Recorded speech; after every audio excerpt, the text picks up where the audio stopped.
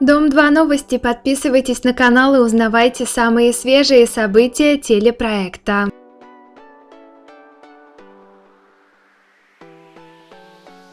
Илья Ебаров решил высказать Анастасии Голд все, что накопилось у него за полгода отношений с этой участницей. Оказывается, Ебаров жалеет, что слишком доверял Насте и покрывал ее, делая вид, что поверил в искренние отношения Насти к маленькому Богдану.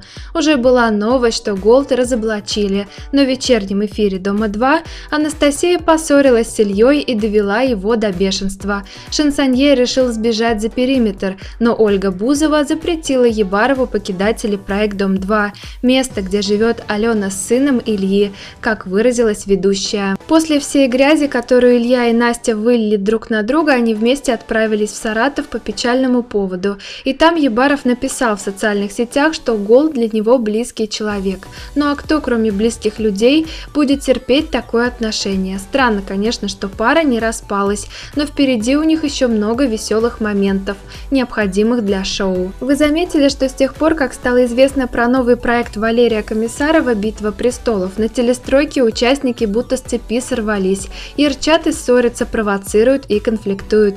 Неужели руководство Дома-2 боится потерять часть телеаудитории из-за шоу конкурентов?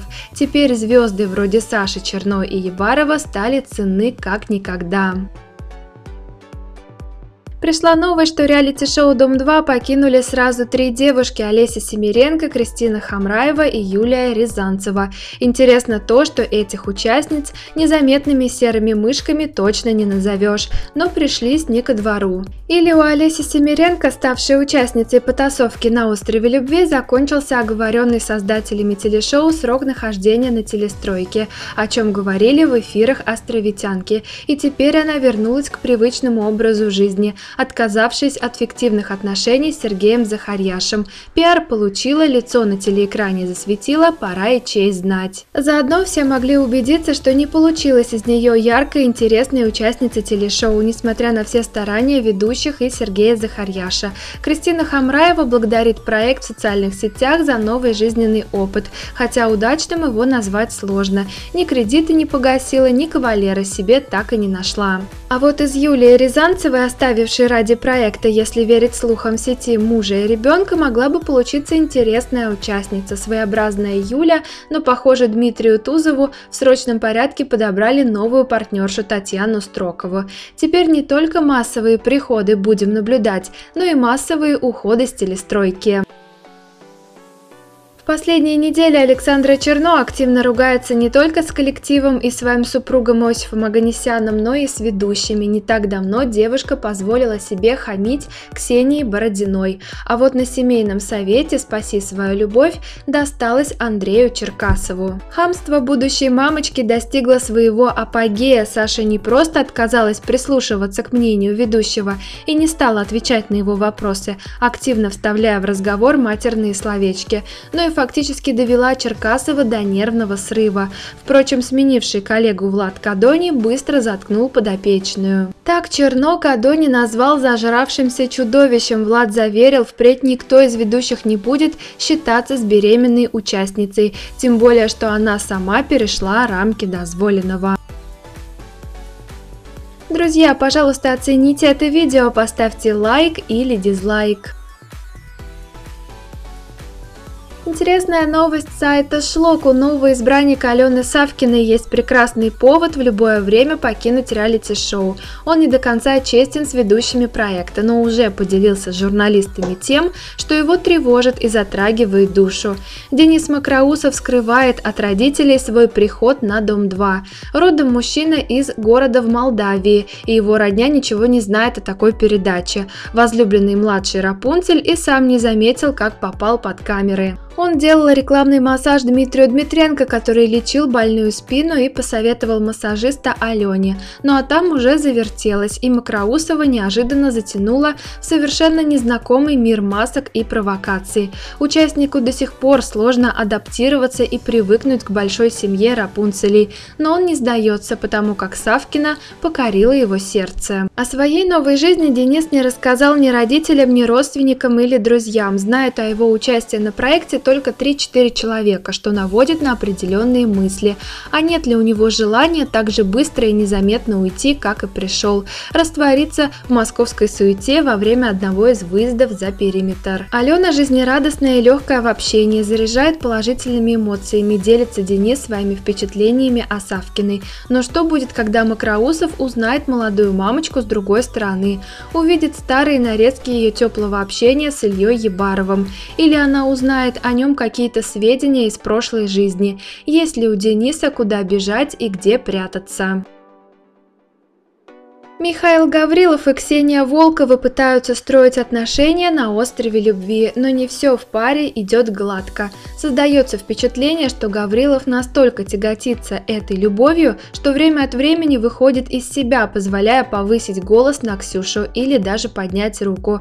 Возможно, Михаил и впрямь является домашним тираном, ведь Волкова в отношениях с ним совершенно стерлась и совсем не похожа на ту девушку, которая появилась на яхте любви, удивляя участников своим оптимизмом и непосредственностью. Ведущий Антон Бекушев не смог оставить без внимания проблемы, возникшие в этой паре, и сегодня решил вплотную заняться тем, чтобы оказать помощь Волковой и Гаврилову.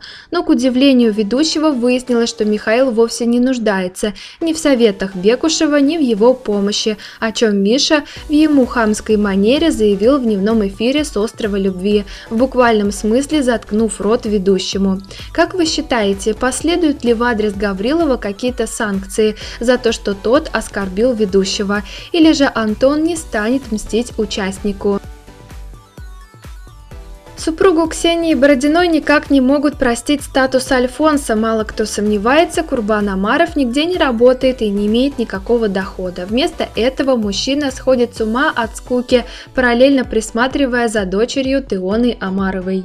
По сети уже гуляет шутка о коте Шантике, которого якобы дрессирует Амаров, и, судя по всему, травля мужчины многим пришлась по душе. На вопрос о том, что делать с мужчиной, который занят воспитанием кота, уже ответила Юлия Ефременкова, и теперь свои 5 копеек вставил Михаил Терехин. По словам Миши, питомец Бородиной не нуждается в дрессуре, ведь в свое время он лично занимался этим вопросом. Впрочем, Михаил не отрицает, кот мог отбиться от рук, ведь как ни крути, это именно он был лучшим из лучших в жизни Бородиной.